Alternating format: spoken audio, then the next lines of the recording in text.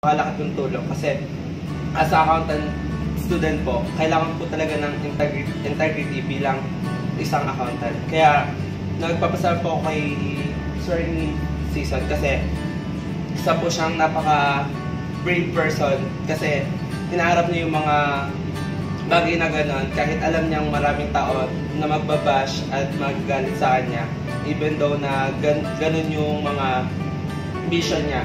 At yung isa po dun is yung kanyang vision na be a change maker and be a heroic maker.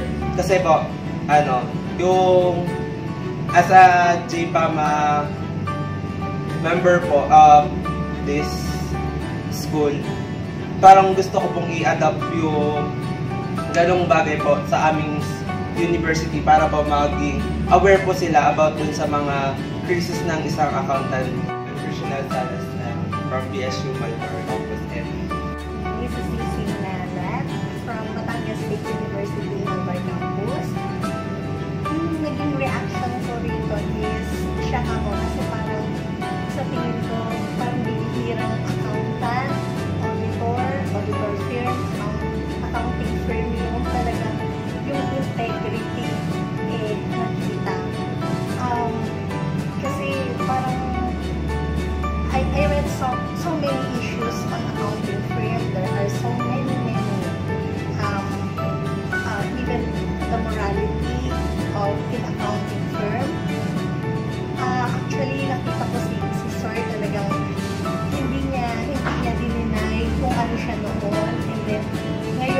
рука.